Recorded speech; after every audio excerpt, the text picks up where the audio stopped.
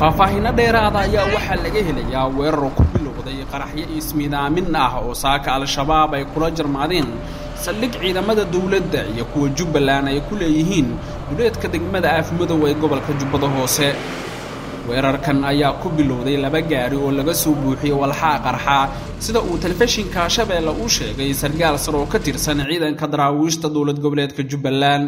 sidoo kale waxaa qaraxyada xigay dagaal toosa oo u dhexeeyey ciidamada ku sugnaa saldhigga la weeraray iyo dagaalyahano ka tirsan al-shabaab oo weerar ka qaaday. Al-shabaab oo sheegtay mas'uuliyadda weerarkan waxay sheegeen in ujeedkoodu ahaa saldhig ciidan oo ku yaalla duleedka magaalada afmadow ee gobolka jubbada hoose. Waxay al-shabaab sheegeen in khasaare xooggan ay gaarsiiyeen ciidamadii dowladda iyo kuwa jubbaland ee ku sugnaa saldhigga la weeraray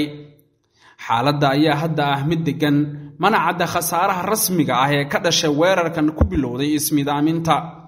war qoraal oo ka soo baxay wasaaradda amniga dowlad goboleedka jubbaland ayaa looga hadlay weerarka saaka al-shabaab ay kula jarmaadeen saldhig ciidan oo ku yaalla duleedka degmada aafmadow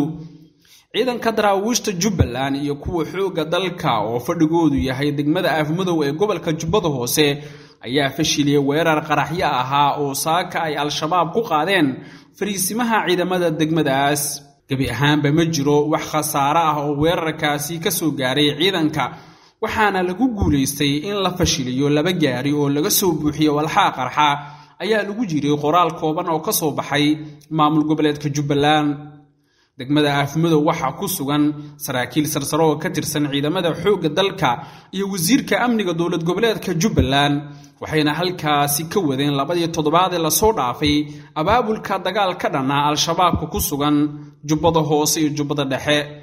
wasiirka amniga dowlad goboleedka jubbaland oo xalay xilli dambe warbaahinta la hadlay wuxuu sheegay inay diyaariyeen ciidamo iskugu jira milatari booliis nabasugid iyo kuwa xoogga dalka kuwaasoo toddobaadyada soo aadan u diyaar ah inay qaadaan duulaan ka dhana al-shabaabka ku sugan labada jubbo.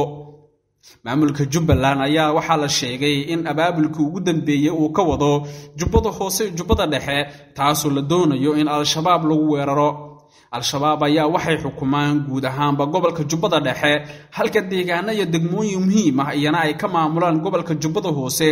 Waana tan keentay in dowladda soomaaliya iyo taliska ciidamada xoogga dalka iyo kan jubbalandba ay u diyaar garoobaan inay qaadaan weeraro ka dhana al-shabaab. Qadar cabdiraxiin ibraahim shabeelle t v muqdisho